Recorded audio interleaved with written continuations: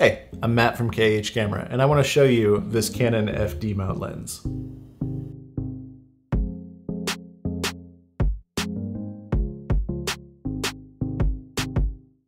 You could say this was the original Canon Nifty 50. The first edition of this lens was introduced in 1971 with a chrome mounting ring.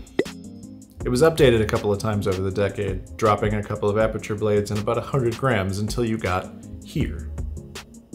In 1979, you could buy one of these new for about $100, very close to the same price point as Canon's 50mm 1.8 STM lens. This third edition 50mm consists of mostly dense plastic with some metal in the mount area. It's lightweight and compact with a smooth, easy to turn focus ring. Inside you'll find five aperture blades that open up to f1.8 to give you shallow depth of field, and the center areas are super sharp, which you'll see in a second. All of these features at such a low price point make this an extremely popular option for budding filmmakers or anyone who wants to start experimenting with classic manual lenses on their digital camera. But that's enough from me. Let's see it in action at Piedmont Park in Atlanta, Georgia.